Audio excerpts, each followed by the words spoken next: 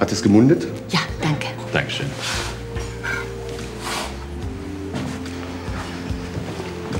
Was für ein schöner Abend. Hättest du gedacht, dass wir beide je ein Paar werden? Naja, ich habe uns eine 30-prozentige Chance gegeben. Das Schicksal hat es so gewollt. Das glaube ich auch.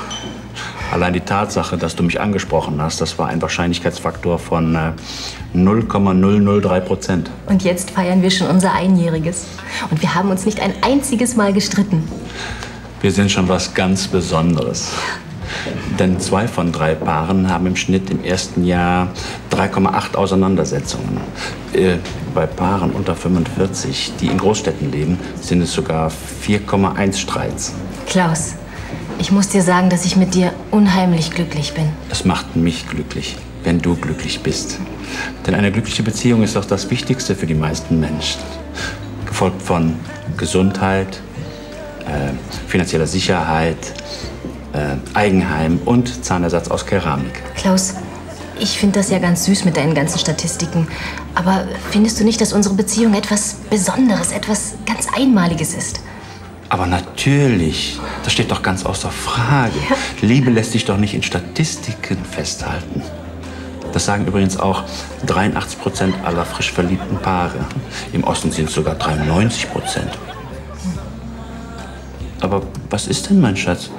Du schaust so traurig. Habe ich dir wehgetan?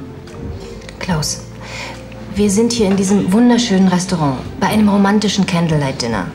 Was glaubst du, was eine verliebte Frau da gerne hätte? Sag nichts. Ich weiß es. Verena, mein Schatz.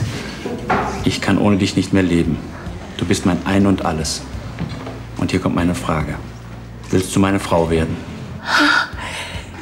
Ich, ich weiß jetzt gar nicht, was ich sagen soll. Sag nichts. Ich habe dir alles aufgeschrieben. Also, hier ist die Frage. Willst du meine Frau werden? Und du kannst antworten. Von 1 bis 6. Also von 1, nein, auf keinen Fall. Bis 6, auf jeden Fall.